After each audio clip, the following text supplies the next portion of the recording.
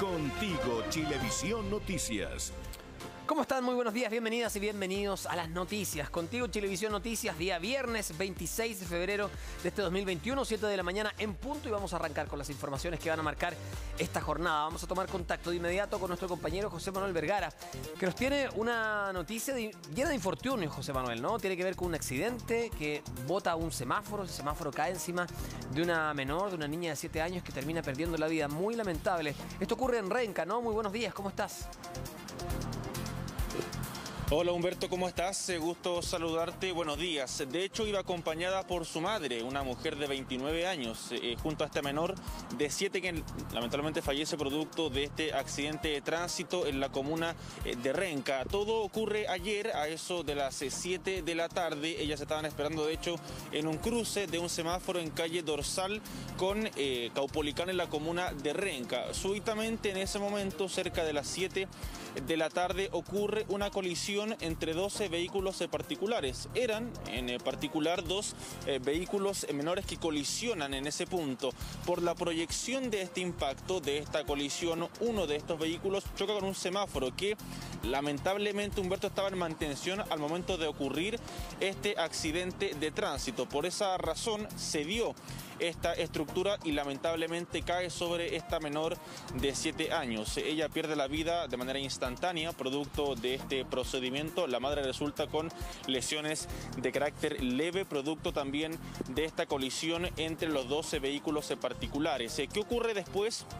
De este choque de los dos vehículos y también de la estructura cediendo sobre esta menor de 7 años. Un conductor se queda en este lugar, es de hecho retenido por personal policial de carabineros, pero el segundo vehículo que también participó en esta colisión se da a la fuga de ese lugar y de hecho hasta esta hora de la mañana aún no es encontrado por personal de carabineros a cargo de esta emergencia. Nosotros pudimos hablar el día de ayer con vecinos de este lugar, claro, es una situación realmente lamentable que este eh, semáforo, esta mantención ocurra lamentablemente esta emergencia de la colisión entre dos vehículos y después eh, por eh, haber cedido finalmente cae sobre esta menor de tan solo siete años. Escuchemos parte de esas declaraciones.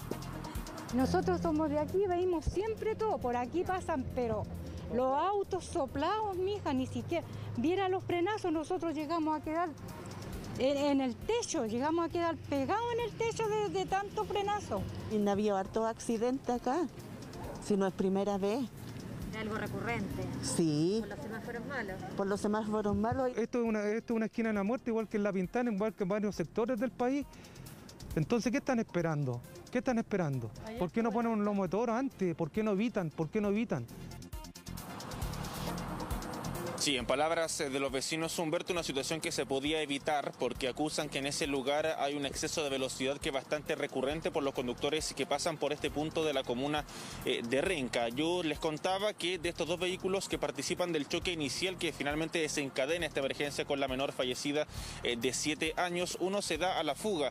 Un dato no menor, cuando este vehículo escapa, deja en el lugar su placa patente, la matrícula de este vehículo. Se verificó esa patente y corresponde Humberto una persona que ya falleció. Por tanto, va a ser bastante complejo y lo es de momento poder identificar y encontrar a la persona que iba conduciendo este segundo vehículo que también participó en este choque en la comuna de Renca. El conductor que se quedó en el lugar, que no se dio la fuga de este accidente que termina con la muerte de esta menor de 7 años, se quedó apercibido, es decir, va a ser citado a declarar ante el tribunal correspondiente después de lo que va a ser la investigación por parte de carabineros de la comuna de Renca. De hecho, nosotros hablábamos ayer también con personal policial a cargo de este procedimiento va a ser muy importante respecto de la investigación identificar qué vehículo tiene más responsabilidad en lo que fue la colisión inicial que desencadenó la muerte de esta menor de 7 años. Escuchemos también parte de esas declaraciones policiales. Se origina un accidente de, de tránsito donde participan dos vehículos menores quienes provocan una colisión eh, uno de estos vehículos impacta con un semáforo que se encontraba en este lugar y lamentablemente esta estructura cae sobre una menor de edad de 7 años y lamentablemente fallece de forma inmediata aquí en el lugar. Infortunio, como decías eh, tú, Humberto, tragedia también puede calificar para este tipo de noticias. Eh, lo concreto son dos vehículos eh, que colisionan en esta esquina, Caupolicán con dorsal en la comuna de Renca. Por la proyección del choque se presume también allí algún tipo de exceso de velocidad. Uno de estos vehículos colisiona con un semáforo en esa esquina, cede esta estructura y cae sobre esta menor de 7 años que lamentablemente fallece de manera instantánea en ese lugar de la comuna de Renca. Sí, sin duda un accidente muy, muy lamentable. Gracias por este completo informe, José Manuel. Vamos a volver contigo en cualquier minuto. Buenos días. 7 de la mañana con 5 minutos de este viernes nos vamos a ir a una pausa revisando lo que está ocurriendo en distintas calles de la capital. Aquí lo pueden ver desplegado en nuestra pantalla. Ahí está Américo Vespucio con eh, Ruta 5, acá. Ahí tenemos Escuela Agrícola con Maratón y un poco más allá Independencia con Cardenal Caro. Hay movimiento a esta hora de la mañana, todavía no despunta completamente el día, lo pueden apreciar acá la imagen que nos entrega diariamente el Parque Metropolitano de Santiago. Sin embargo, al fondo se ve que vamos a tener una jornada soleada, despejada, con una máxima de 29 grados como ve en pantalla. Nos vamos a separar brevemente y continuamos con las principales noticias que van a marcar este día viernes acá en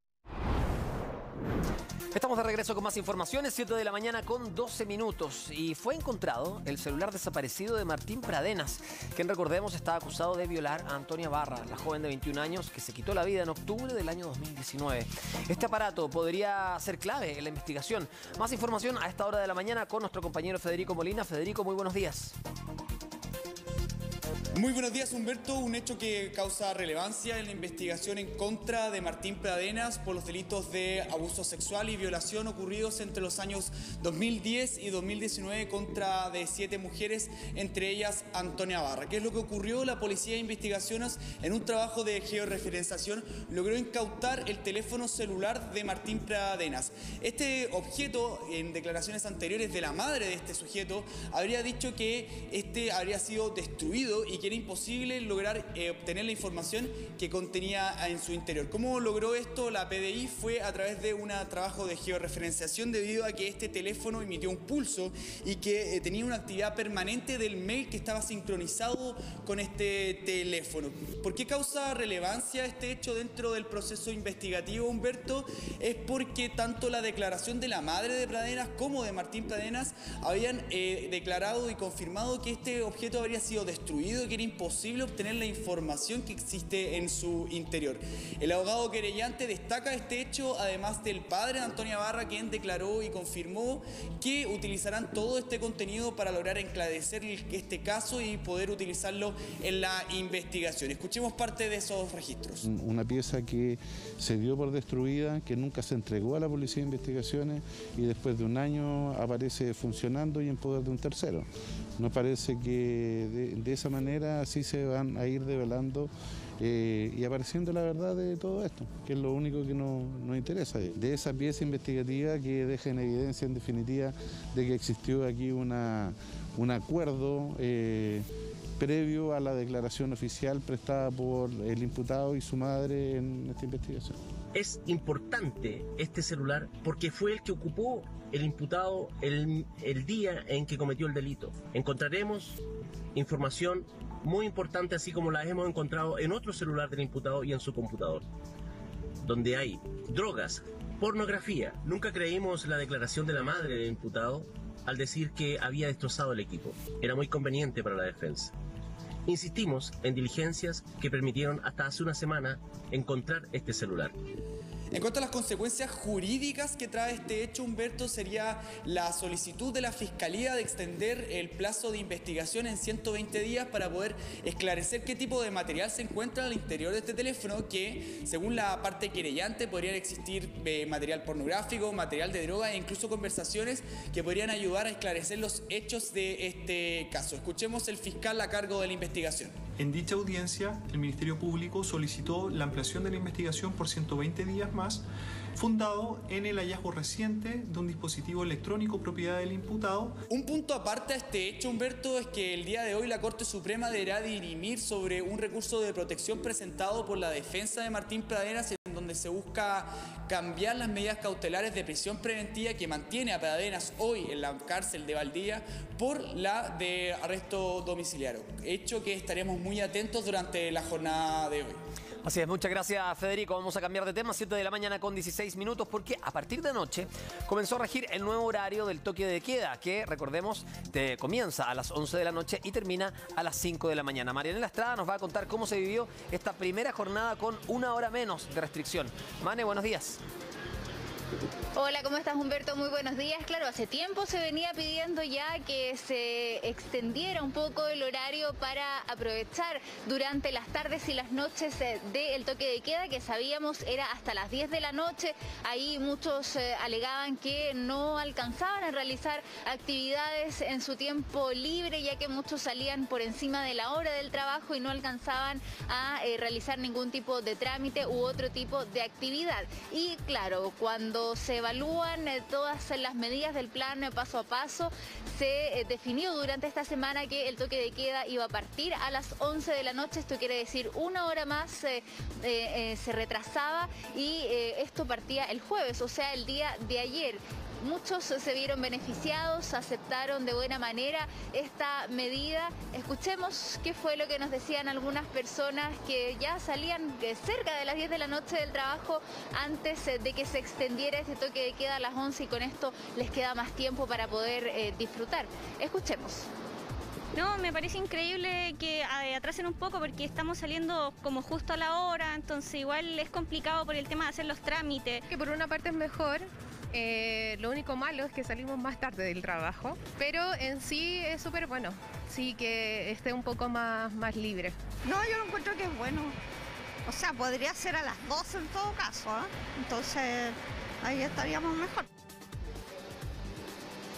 De todas formas, estas medidas están sujetas a una reevaluación eh, cada tres semanas, así que eh, se tomó esta decisión de extender eh, el toque de queda para que comenzara a las 11 de la noche por, desear las autoridades, los buenos resultados, las buenas cifras que se han observado con respecto al coronavirus acá en nuestro país. Pero, claro, esto está sujeto a evaluación, las medidas podrían cambiar, así que todo va a depender de cómo se dé las cifras eh, durante estas semanas con un toque de queda que comienza a las 11 de la noche. Y esto, por supuesto, beneficia también, y lo conversábamos durante la semana, Humberto, a eh, todas las personas del rubro gastronómico que tienen una hora más eh, también para poder funcionar sus locales y, por supuesto, quienes además se benefician de esto son los comensales, las personas que llegan hasta los bares o los restaurantes para poder disfrutar una hora más. Escuchemos qué era lo que nos decían esas personas precisamente. Yo creo que 11 está bien, 11 de la noche por lo menos le da un espacio a la gente que trabaja y la activación que me parece adecuado. Encontramos que es bueno. Insuficiente sí, creemos que debería ser un poco más tarde, pero... Se agradece la medida y, ojalá que podamos seguir ampliándola mucho más, siempre cuidando el protocolo para que todos nos cuidemos al final de cuentas. Una de las medidas más aceptadas que se han dado estos últimos tiempos, porque creo que con la temporada estival estar encerrado antes de las 10 de la noche era complicado. Y con esto también se modificó el horario del transporte público. Recordemos que eh, ahora que el toque de queda comienza a las 11 de la noche, el metro va a funcionar hasta las 10 de la noche, Metrotren Nos hasta las 10 y cuarto y los buses del transporte red metropolitano van a estar circulando hasta las 11 de la noche. Que es una buena noticia. Una señora decía podría haber sido hasta las 12. Vamos paso a paso, como dice el plan. Esperemos que las próximas semanas sigan, eh, por supuesto, entregando nuevas medidas eh, y nuevos permisos con este plan paso a paso, ya que comienza el periodo de vacunación. Vamos a estar hablando también de ello en un rato más. Mane, gracias por este completo informe. Buenos días. Son las 7 de la mañana con 20 minutos. Nos vamos a ir a una pausa revisando imágenes de lo que está ocurriendo a esta hora en distintas arterias, distintas calles de la capital. Hay varias avenidas, intersecciones que estamos viendo a esta hora de la mañana donde ya se aprecia eh, bastante tráfico, tráfico fluido. Vamos a volver con el pronóstico del tiempo. Sabemos que hay 29 grados pronosticados para Santiago. Ahí estamos revisando la imagen eh, panorámica de la ciudad, pero al regreso Eduardo Sáez nos va a contar el pronóstico para todo el país. Quédense con nosotros, seguimos con más informaciones acá en CNN y Chilevisión.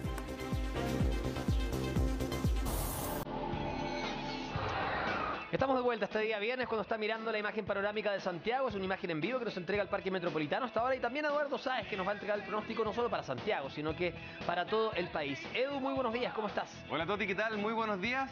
Seguimos con cielo despejado, temperaturas que van a estar muy similares en todo caso a, a lo que sucedió ayer, pero tenemos harta niebla también en los valles centrales. De hecho, por ejemplo, en la región metropolitana, Curacaví, Melipilla, incluso hasta sectores cercanos a Talagante, se mantiene esta niebla asociada a la nubosidad costera que estaba ingresando y que va mantener todavía a raya la- las temperaturas.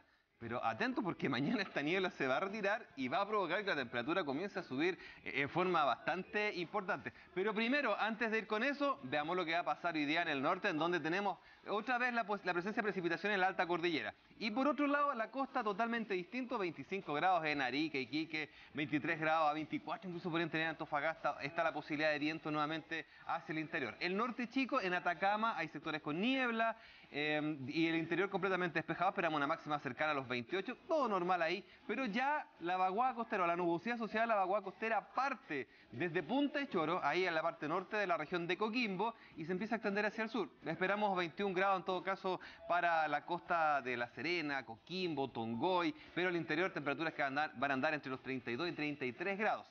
Si nos vamos a la zona central, te comentaba, la nubosidad baja asociada a la vaguada costera se manifiesta hasta casi Puerto Saavedra. Primero veamos de la zona central ahí hasta Concepción. Incluso hay sectores con llovizna y niebla en el borde costero. Las temperaturas máximas en todo caso la tarde entre 17 y 19 grados entre Constitución y Valparaíso. Concepción se va a ir abriendo y por eso es que estamos dejando 21 grados. Pero el interior, otro panorama, cielo completamente despejado, temperaturas de 29 en Rancagua, 31 grados en el Aconcagua, en San Felipe, Los Andes, Talca 30, repite, Chillán 31 grados, 31, 32 también en las cercanías de Los Ángeles, pero una vez que rompa la niebla que también se manifiesta hacia los valles interiores, al interior del Maule, del Ñuble, del Biobío. Si nos vamos a la Araucanía, eh, también tenemos niebla a esta hora del día, de hecho, eso hace que la temperatura mínima sea tan alta, 12 grados en estos momentos, porque está cubierto lo mismo en la región de los lagos. Al interior de, los ríos, por eso Valdivia tiene un poquito más frío, 7 grados, al interior también se manifiesta esta nubosidad, nubes que se van a disipar y que va a dar paso a cielo completamente despejado, con máxima entre los 20 y 24 grados. La región de Aysén es otra cosa porque tenemos, por ejemplo, en el borde costero, Puerto Aysén, eh, Caleta Tortel, temperaturas del orden de 22 a 24 grados, pero cruzando la cordillera de los Andes hacia La Pampa nos encontramos con temperaturas casi bordeando los 30, como lo que estamos viendo ahí en Coyhaique con 29 grados. Y en Magallanes tenemos nubosidad parcial, hay un sistema frontal que está pasando más al sur, eh, al sur de Puerto Williams, incluso que sería la única parte con precipitaciones, y la máxima hoy día, eh, pese a la nubosidad, 18 grados. Y ahora vamos con la región metropolitana porque en Santiago sigue bajando la temperatura. 12,7 tenemos en este preciso momento en el centro de la gran capital y esperamos que, al igual que ayer, cielo despejado, máxima cercana a los 29 grados.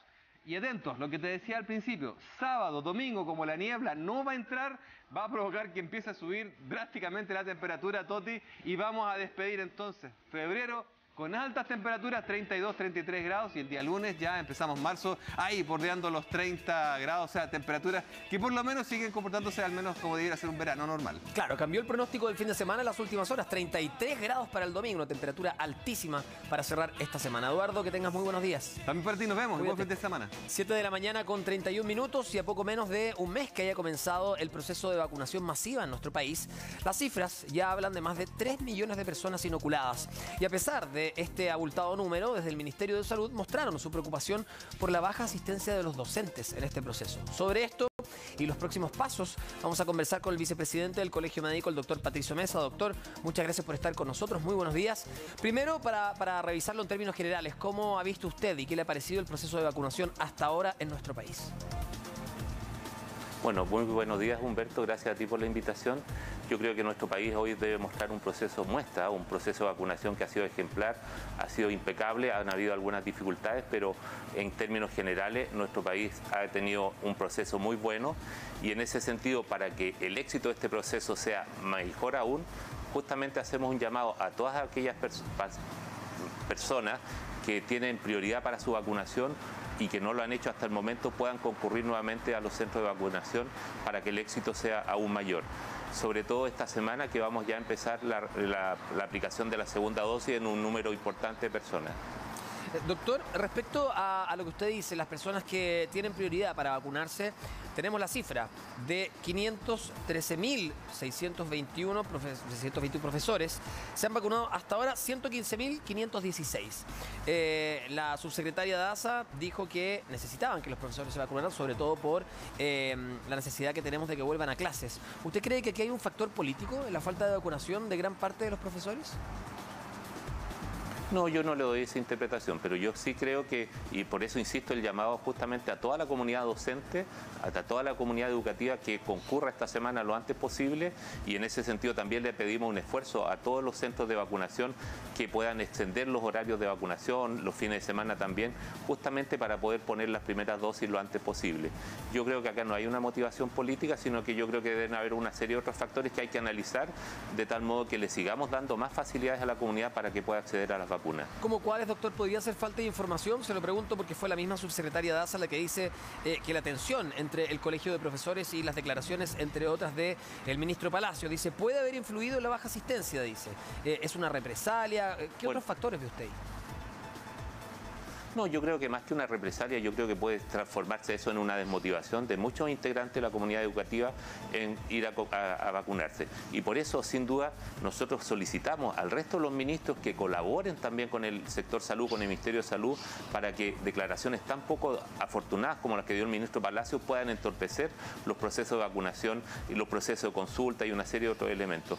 Creemos importante que todos nos alineemos porque en la medida que podamos controlar lo más precozmente posible esta pandemia, también podemos de forma secundaria ir mejorando otros aspectos como es la economía, que también sabemos que tiene un rol importante en el desarrollo del país. Así es, bueno, hacemos eh, el llamado nuevamente porque funciona.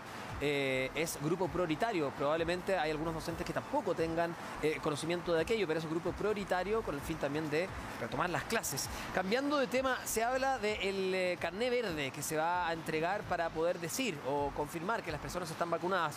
¿Le parece una buena medida esa y cuándo podría comenzar a implementarse?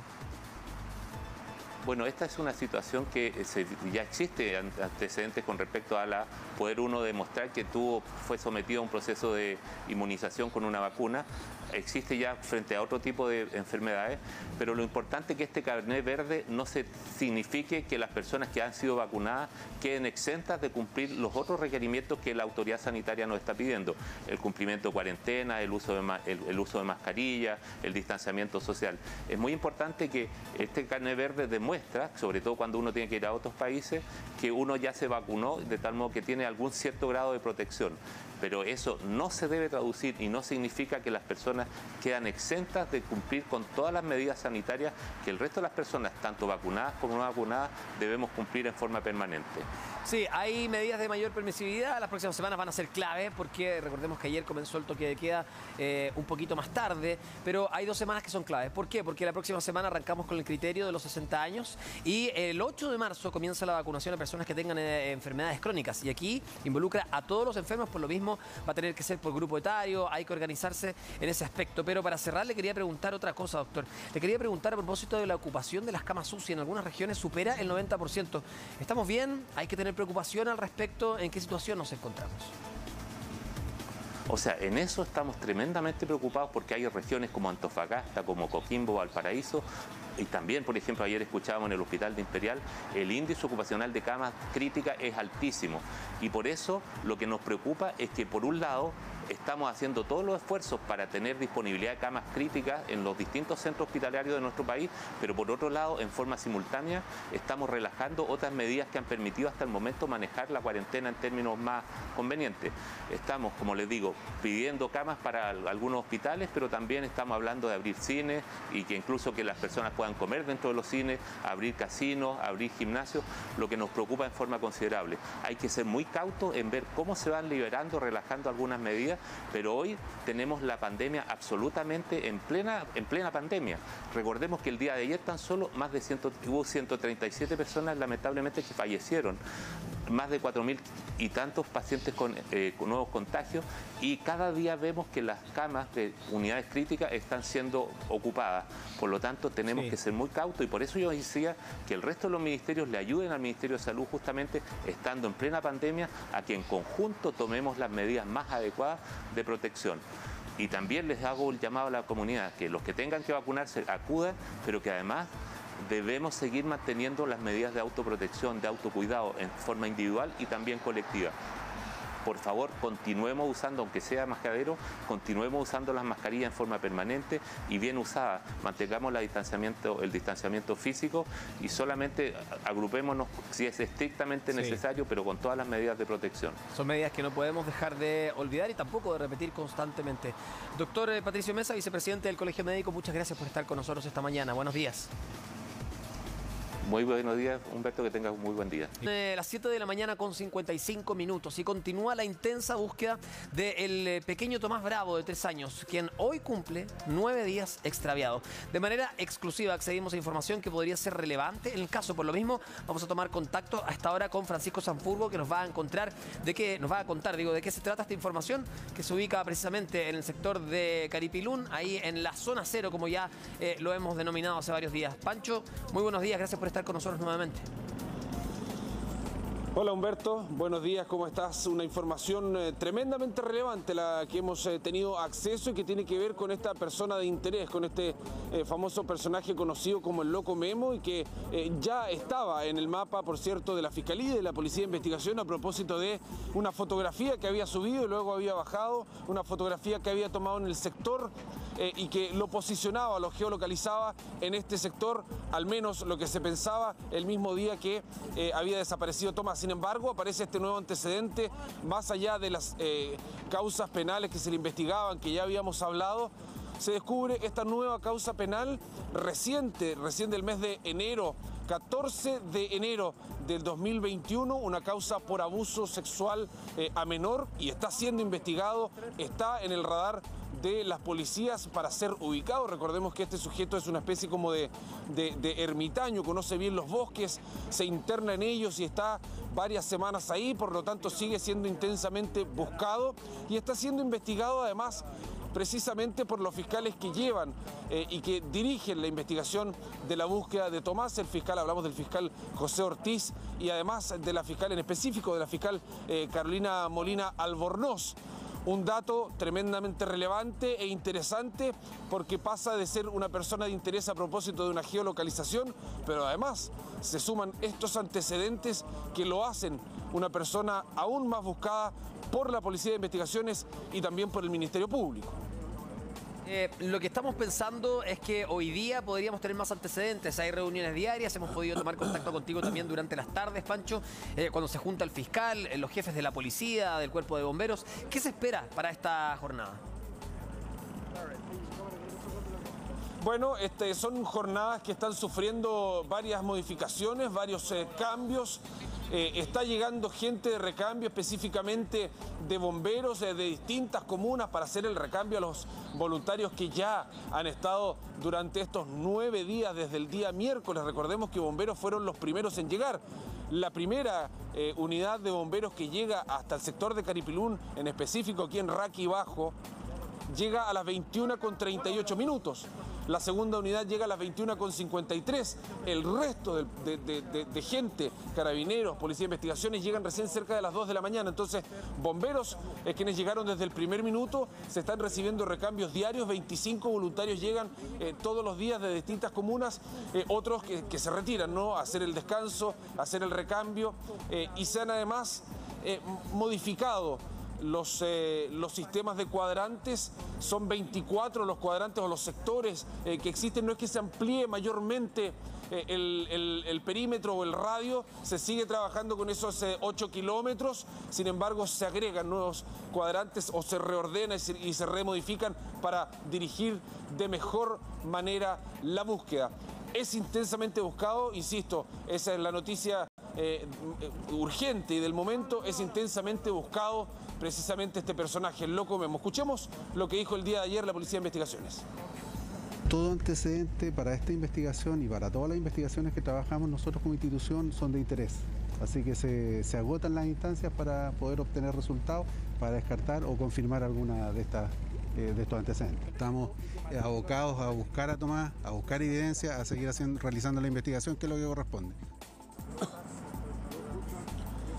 Una investigación, recordemos Toti, que está con reserva por 40 días, por eso que eh, a, medida que, que, van pasando los días y desde que se decretó la reserva, escuchamos este tipo de declaraciones en que dicen, bueno, toda persona es una persona de interés en cuanto tenga que ver con esta investigación, pero lo cierto y lo que sabemos es que está siendo buscado está internado en los cerros, se va moviendo y es difícil encontrarlo. Y respecto a la búsqueda, bueno, eh, ayer se, se, revisó en detalle el sector 15 y 16, que son sectores que quedan...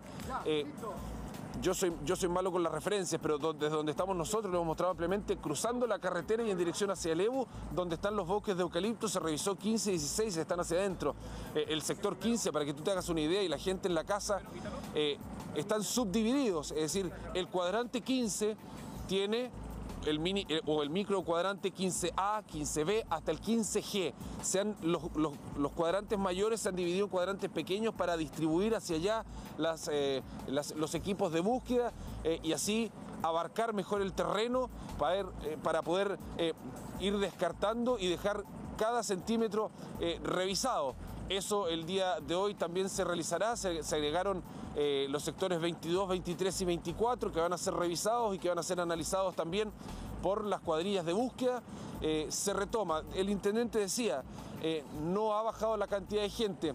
en estricto rigor, claro, porque están llegando recambios desde Concepción, pero nosotros vemos claramente, y, lo hemos visto con los días que acá, hay menos gente hasta ahora. Eh, eh, y se espera que vayan durante el día llegando para irse sumando eh, a la búsqueda. Escuchemos lo que dijo el intendente de la región del Biobío, Patricio Kuhn.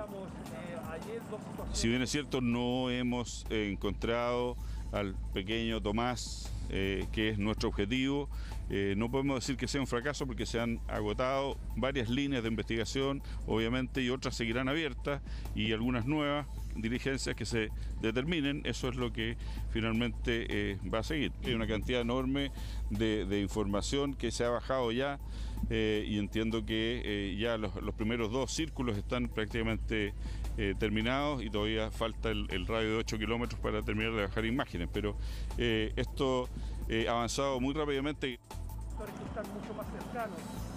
Bueno, la jornada de ayer también estuvo marcada por la llegada de Estefanía a la carpa, la madre de Tomás, eh, que en algún principio se pensó que le habían llamado a declarar, luego pudimos saber eh, de boca de su propia madre que ella vino voluntariamente, pese a que le piden que no salga de la casa, ella se levantó, caminó los 50, 60 metros hasta acá, ingresó a la carpa de la Policía de Investigaciones porque está desesperada, busca información, ya son nueve días en que Tomás no aparece eh, y la reserva la carpeta los mantiene también en ascuas eh, y, con, y con la información justa y precisa.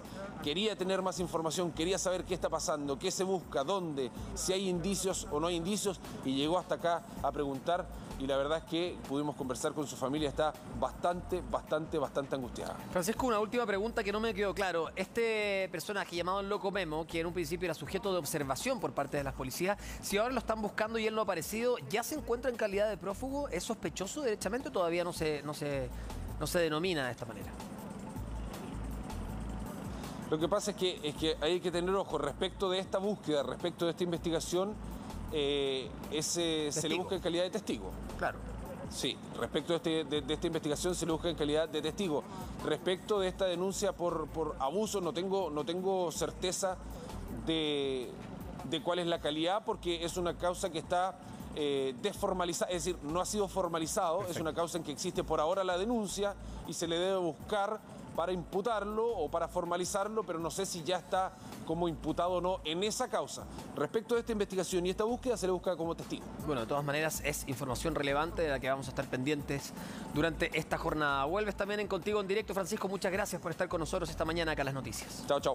Chao. 8 de la mañana con 3 minutos y a partir de este domingo, una buena noticia para los deportistas también, porque se va a volver a habilitar un importante tramo de la denominada Ciclo Recreo Vida de Santiago. Se trata del trayecto que va por el de la avenida Andrés Bello eh, en las comunas de Providencia y Las Condes. Esta reapertura ocurre en el contexto de una campaña que busca crear conciencia vial en los conductores. Consuelo Aguilera nos trae más informaciones al respecto, pero se encuentra en el aeropuerto. Consuelo, cuéntame por qué estás ahí y luego vamos también con este tema. Buenos días. Hola Humberto, claro, primero vamos a comentar justamente lo que tiene relación con el aeropuerto y es porque estamos a 20 minutos aproximadamente de que aterrice justamente en este lugar un avión que trae un nuevo cargamento de vacunas. Se trata de 2 millones de dosis aproximadamente de la vacuna de Sinovac que van a estar llegando a nuestro país entonces ya en los próximos minutos y que van a ser recibidas además por algunas autoridades de gobierno, entre ellas la ministra de Transportes Gloria Hood, con quien estamos a esta hora justamente para conversar sobre todo lo que tiene relación con la logística, porque es justamente esta cartera la que está a cargo de hacer todo el transporte a lo largo del país de estas vacunas. Ministra. Sí, buenos días. Sí, efectivamente esa es la parte desconocida del proceso, porque no basta con que las vacunas lleguen, tienen que llegar a su destino final y no siempre son las capitales regionales, son muchos lugares intermedios, ciudades donde no hay aeropuerto y tenemos restricciones de tiempo. Eh, afortunadamente nuestro eh, programa de desarrollo logístico el año pasado había organizado una comunidad logística aeroportuaria con todos los agentes que intervienen en la carga para agilizar procesos. Así que estaba eso ya como una plataforma y se ha logrado reducir los tiempos de proceso más o menos un 70% eh, en beneficio de la conservación de las vacunas. Las vacunas no están exentas de todos los procesos de internación, por ejemplo, toda la documentación. Así que todo eso se hace el día anterior, todo el área logística prepara eso y después se distribuyen a las regiones, por ejemplo, en vuelos domésticos comerciales de JetSmart, LATAM o Sky, que lo hacen de forma gratuita para este caso. Y además la Federación Aérea de Chile eh, opera en 400 pistas locales y eso nos ha ayudado muchísimo porque ellos nos ayudan con los cargamentos más pequeños que van a destinos finales de ciudades más pequeñas y nos ayudan mucho en los tiempos. Eh, ayer, por ejemplo, eh, mandaron aviones en la noche para poder tener listo hoy en la, distribución de estos millones que están llegando de dosis, los dos millones, que como digo se distribuyen y empiezan a, una capilaridad que es media desconocida, pero tienen que llegar a los lugares más pequeños eh, rápido. Así que eso es todo el trabajo que ha hecho nuestro equipo acá y, y, ha funcionado bastante bien hasta ahora. Ministra, ¿sabe ya cuál va a ser el recorrido específicamente de este cargamento que llega ahora ya en los próximos minutos? Eh, no, eh, el equipo de logística tiene sí todo ya previsto para la distribución, eh, pero se van a distintas regiones, porque como el criterio ha sido, por ejemplo, priorizar por edad o por personal médico o por docentes o personal de colegio, eso está distribuido en todo el país. Así que hay que distribuir estas dosis también de acuerdo a la población. En general los municipios piden las cantidades y se van distribuyendo, pero es bastante eh, proporcional a la población en realidad. Ministra, esta sin duda es una buena noticia en lo que tiene relación con el avanzar rápidamente en el calendario de vacunación, pero también hay otra buena noticia bien relacionada con la cartera que es para aquellos amantes del deporte, todas las personas que a partir de este fin de semana justamente van a poder volver a utilizar la ciclo recreo vía que une, digo, el eje de Providencia y las Condes, pero también es importante señalarles que todos ellos van a tener que cumplir con las medidas sanitarias.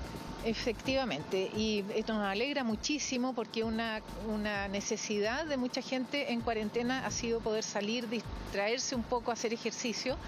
Eh, y el domingo anterior se habilitó la calzada sur de Irarraza. Fue un primer tramo de ciclo recreo vía entre Fernández Concha y Ramón Cruz.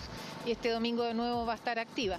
Y este domingo se abre Andrés Bello de nuevo, que es un largo tramo desde Plaza Italia hasta Isidora Goyenechea, más el tramo de Pedro Valdivia Norte para llegar al Parque Metropolitano.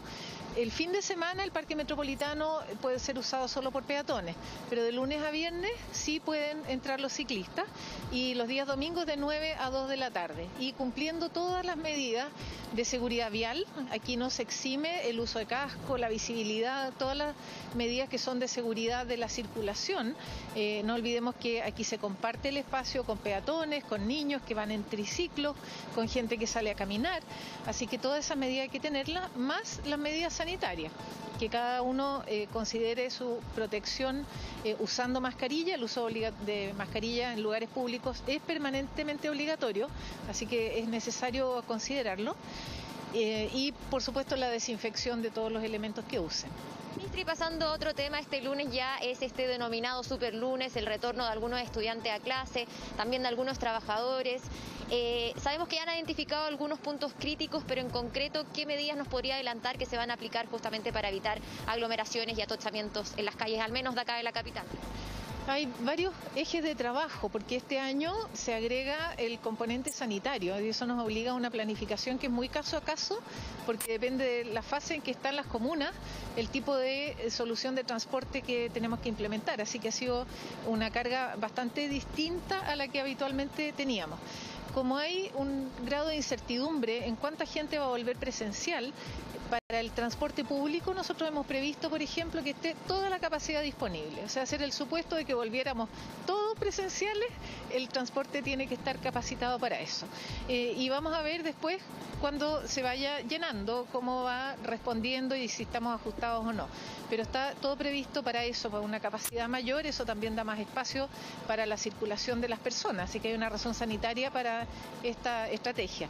Y en el transporte privado, que son los autos eh, particulares, que seguramente aumentan. Hay una tendencia al aumento del uso de auto particular en el mundo porque las personas eh, asocian el viajar solo a viajar más seguro. Eh, y hay puntos donde hay todavía obras en, Santiago y en el resto de las regiones. Esos están todos informados, va a haber una lista que está puesta en nuestra página web, Transporte Informa también es una de las fuentes de información eh, y eh, hay coordinación con carabineros para despejar lo más rápido posible esos puntos y también eventuales eh, detenciones porque hay un vehículo en pana, grúas intermedias, buses de reserva para reforzar, por ejemplo, tramos más cargados del metro, trenes para inyecciones intermedias también. así que está, está todo por lo menos anticipado. Eh, ha habido también inversiones en ciclovías, en ampliar veredas para los peatones, los ciclistas, que puedan circular en forma segura.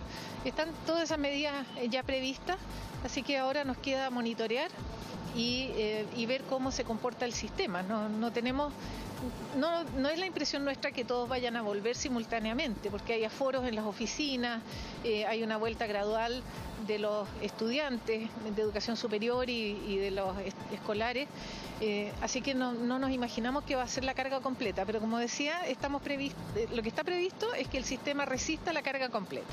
Perfecto, ministra, muchas gracias entonces por entregarnos algún adelanto de lo que van a ser estas medidas que se van a aplicar para este denominado super lunes y por supuesto que nos quedamos atentos a la llegada de las vacunas que debiese producirse ya en los próximos minutos. Muchas gracias, Consuelo. Esperamos esas vacunas, por supuesto, para que siga el proceso y también gracias a la ministra. Buenos días.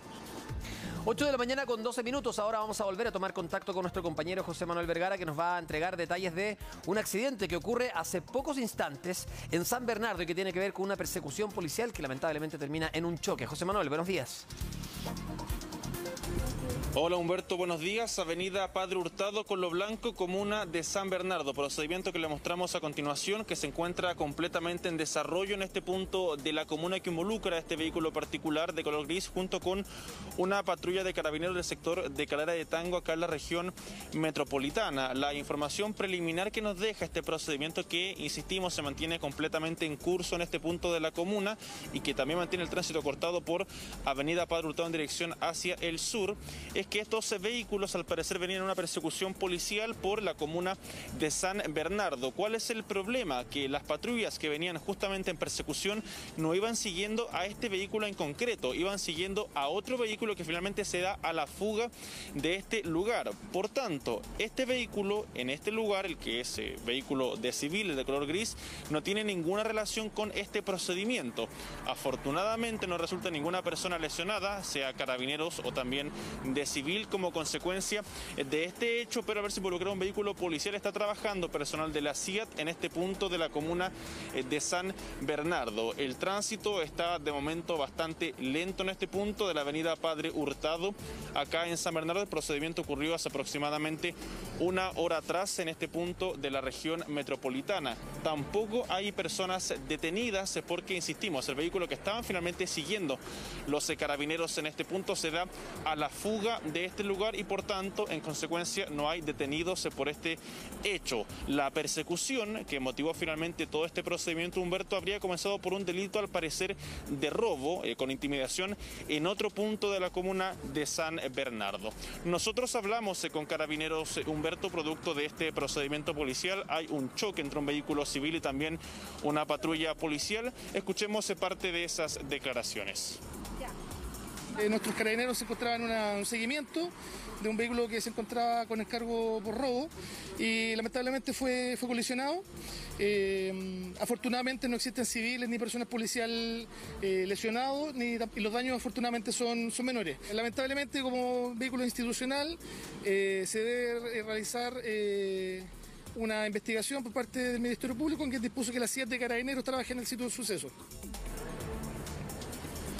La sección de investigación de accidentes en el tránsito, Humberto, la CIA de Carabineros acá en la región metropolitana está adoptando este procedimiento en el lugar que mantiene, insistimos, el tránsito completamente cortado por Avenida Padre Hurtado en dirección hacia el sur en este punto de la comuna de San Bernardo. Insistimos, este vehículo, el que ustedes ven en pantalla, que chocó con esta patrulla policial, no tiene ninguna relación con la persecución. Es eh, finalmente un tercer vehículo involucrado en este accidente que ocurre acá en Lo Blanco con Padre Hurtado.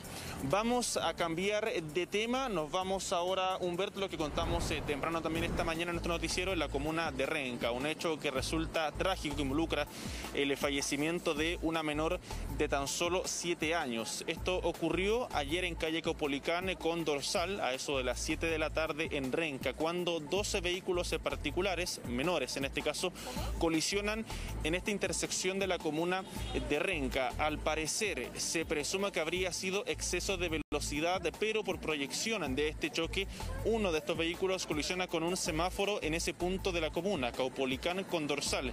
¿Qué ocurre? Al chocar este semáforo, la estructura cede y lamentablemente esta estructura cae sobre una menor de 7 años que estaba junto a su madre en ese punto eh, de la comuna de Renca. La menor lamentablemente fallece de manera instantánea producto de este procedimiento. La madre de 29 años se tiene lesiones de carácter leve. Llama la atención lo que ocurre también, Humberto, después de este procedimiento. Eran dos vehículos involucrados en este choque. Uno se da a la fuga de este lugar. El otro, el segundo vehículo, se queda finalmente en ese punto. Escuchemos primero declaraciones de vecinos en ese punto. Acusan, ellos denuncian que finalmente hay un exceso de velocidad constante en este punto de la comuna de Renca. Nosotros somos de aquí, veimos siempre todo, por aquí pasan, pero los autos soplados, mija, ni siquiera. Viera los frenazos, nosotros llegamos a quedar en, el techo, llegamos a quedar pegados en el techo de, tanto frenazo. Y ha habido harto accidente acá, si no es primera vez algo recurrente. Sí. Por los semáforos malos. Por los semáforos malos. Esto es una, esto es una esquina de la muerte, igual que en La Pintana, igual que en varios sectores del país. Entonces, ¿qué están esperando? ¿Qué están esperando? ¿Por qué no ponen un lomo de toro antes? ¿Por qué no evitan? ¿Por qué no evitan? Desafortunadamente, Humberto, también hay que señalar que el semáforo se encontraba en mantención. Eso sumado a esta colisión de los vehículos, que uno impacte de lleno contra este semáforo, finalmente cede la estructura y cae sobre esta menor eh, de tan solo siete años. ¿Qué ocurre con el conductor que se da a la fuga, Humberto? Un dato muy importante, al irse de ese lugar eh, rápidamente, quedó la placa patente del vehículo en el lugar, la matrícula de este automóvil particular. Atención, porque la matrícula después la revisó personal de carabineros, corresponde a una persona fallecida. Por tanto, ha sido bastante complejo poder ubicar a esa persona y poder también establecer su responsabilidad en el accidente que ocurrió justamente ayer en la comuna de Renca. Hablamos sobre esto con personal de carabineros, también sobre lo que finalmente dejó el fallecimiento de esta menor de tan solo siete años. Escuchemos parte también de esas declaraciones se origina un accidente de, tránsito donde participan dos vehículos menores quienes provocan una colisión. Eh, uno de estos vehículos impacta con un semáforo que se encontraba en este lugar y lamentablemente esta estructura cae sobre una menor de edad de 7 años y lamentablemente fallece de forma inmediata aquí en el lugar.